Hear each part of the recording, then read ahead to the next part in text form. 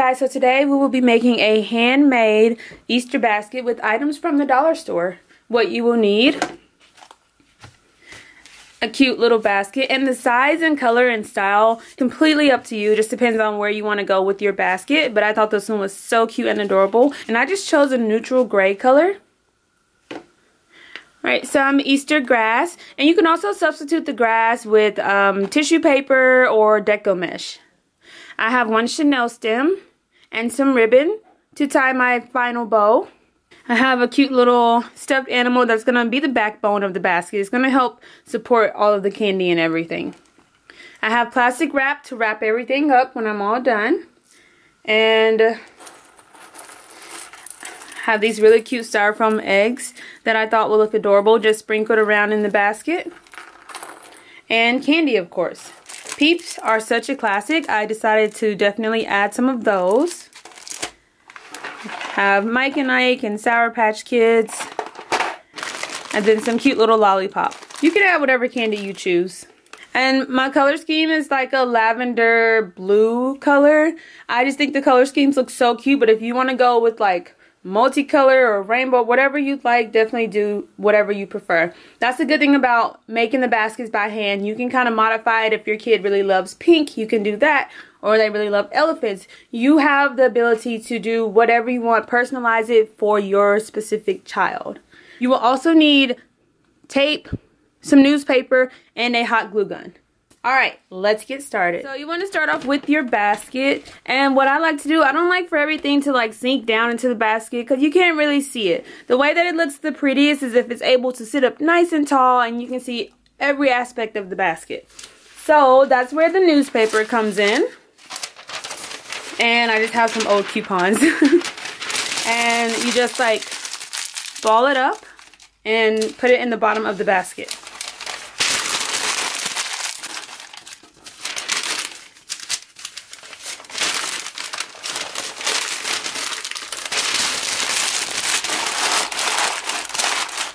And you want it to be nice and firm so that it supports everything.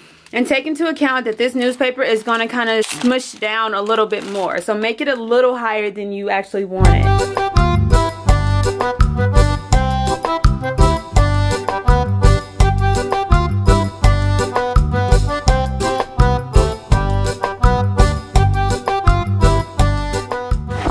So this is how much paper I have. Again, it will smush down a little bit more once you start adding in some weight onto it. And I actually want to um, make sure this is completely covered. So I'm going to take two pieces of white paper and just cover the newspaper.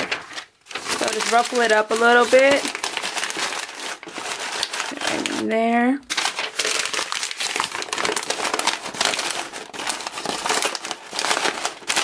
And you could definitely use tissue paper, of course. Now we are going to take our really pretty grass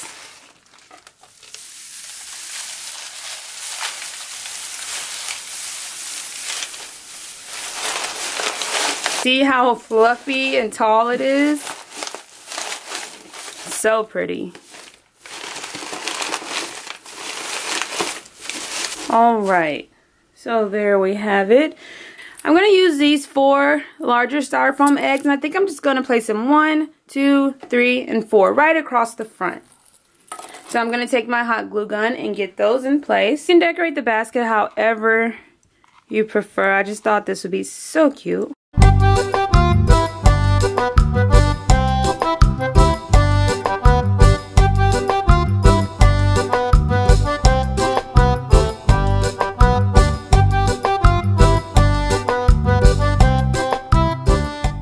That's just so cute and adorable. Alright, now it's time to add my goodies to the basket. So remember I told you guys your stuffed animal is kind of like your your support for everything else. So I'm going to get the stuffed animal placed, so cute, placed towards the back center of the basket.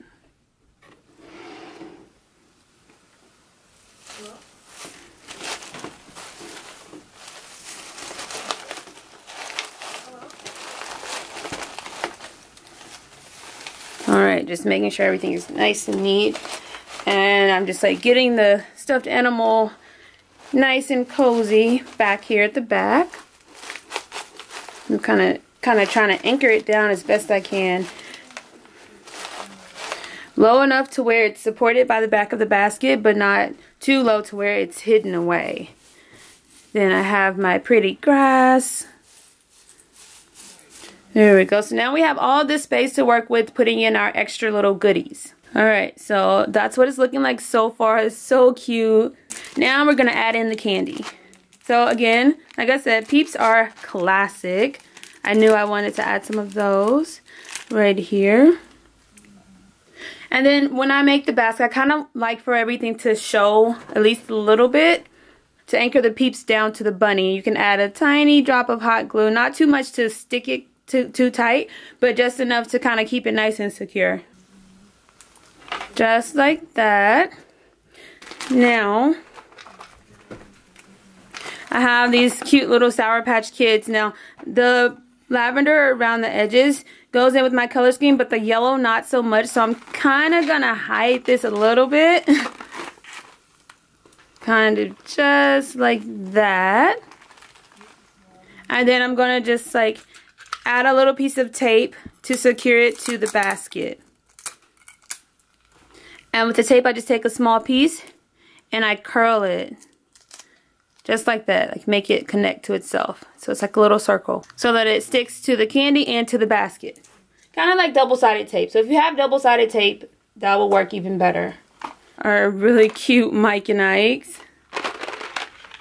And I like the Mike and Ike's because they have a, a picture this way and also long ways. So if you want it sitting upright, you can do that. If you want it lying flat, you can do that. Let's see how this one looks. Maybe like that. And we'll add some glue just to hold it just like that. Again, just a small dot of glue. Just enough to secure it together without making it stick, stick, stick. Or even a little roll of tape and just push that together just like that. Now we're going to add some of our adorable lollipops. And I have um, several colors, but I think I'm only going to use the blue. Just to stick with my color scheme. And then add it in just like that. And since they're lollipops, they're on sticks, they kind of just anchored themselves down. I'll put a couple back here. This side. Again, whatever candy you choose, whatever colors you... Okay I think that's enough candy. And now I'm just going to add the little styrofoam balls. Just for an extra touch.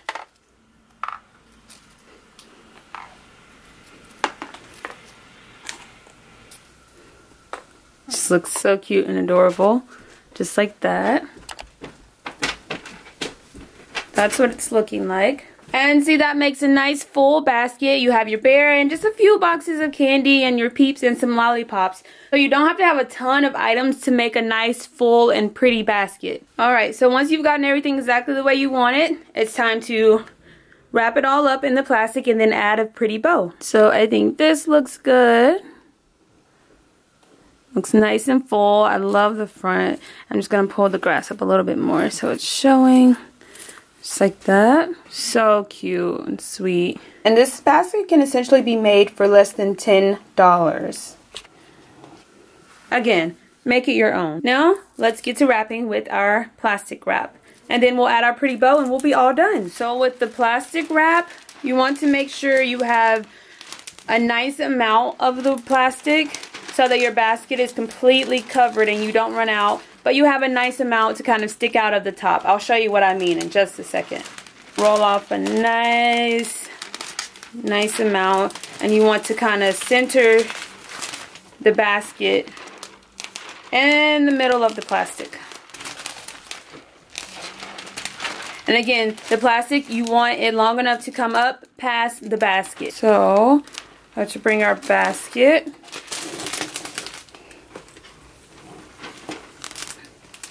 So we have the basket here and you see the plastic, I'm rolling it above the basket. Make sure you bring the plastic past the top of the basket, maybe at least like six to eight inches higher than the basket. In the front and the back. So I have my basket sitting in the middle of the plastic. And then I have the plastic coming all the way up 8 inches past the basket. Like 8 inches higher than the basket.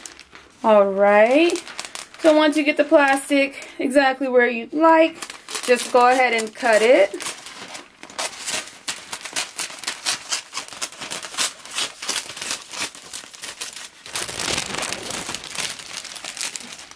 There we go. So you bring that side up, tuck it away, and bring the front up.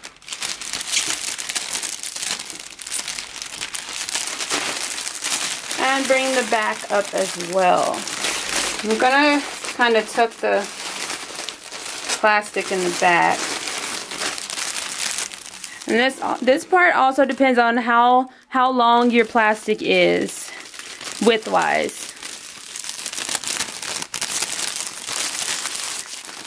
So just any excess plastic you have, try to push it towards the back so that it's not in the front covering your items. So yeah, just gather all of the plastic But then if you have a section that's like falling open, you could definitely take a little piece of tape and just tape that section down. Once you have it exactly the way you want it, just take a little rubber band and tie the plastic together. So I've pulled all the plastic together and now I've gathered it together at the top, just like that. And that's why I said leave like 6 to 8 inches or even 10 if you want it fluffier at the top of your basket so that you have enough space to pull it together without pulling all of your items together. Then just take a little rubber band and place it around.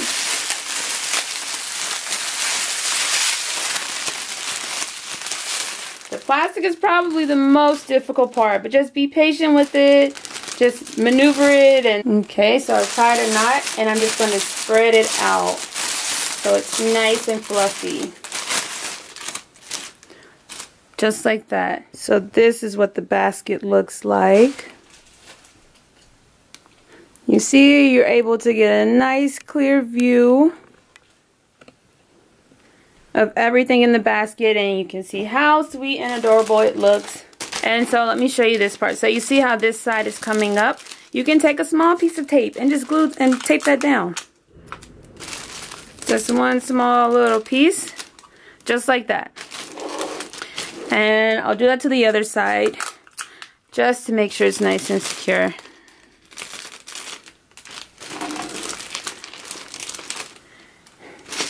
There it is. So our last finishing touch can't really have an Easter basket without a cute, adorable little bow. So I'm going to add that bow to the top. So for the bow, I'm not going to do anything long or complicated. I'm just going to take this really pretty ribbon. I just think it's so pretty and it goes in with my color scheme. And I'm going to just make a quick little bow.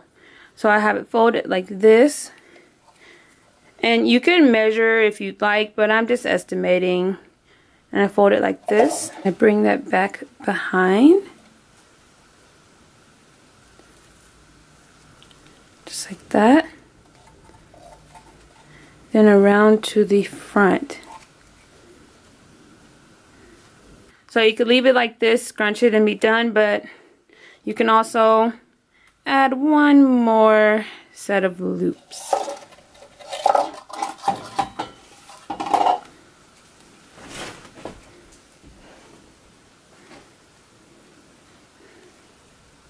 And scrunch it together and that looks so cute and adorable. And what I'm to do, so this is the end of the ribbon, I'm just to take it and wrap it around the center. It's a nice, quick, and easy little bow. And wrap it once more. And I'm going to glue it down at the back. So I take a little hot glue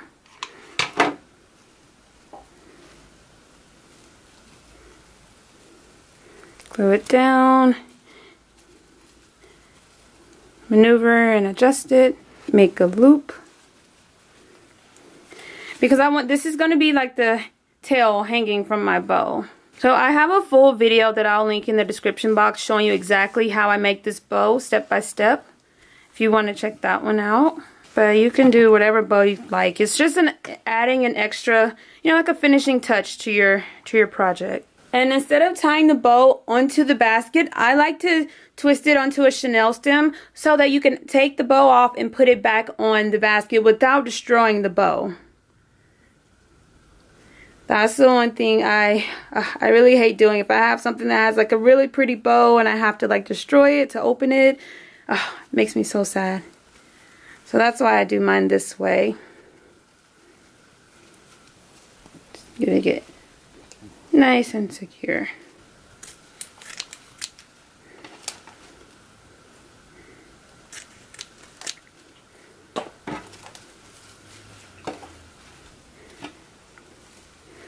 And see, I have the chenille stem right here on the back. And I'm just going to twist this around the top of my basket. So we have the rubber band on the top. And we're just going to take the chenille stem that's on the bow and twist it. Just like that. Then adjust your bow. And there you have it. You are all done. It looks so cute, sweet, and adorable. Again, the best part of making them by hand is you can modify it to fit whatever person you're giving it to, whatever they like, the colors they like, the candy they like. Nice, cute, simple, sweet Easter basket with items from the dollar store.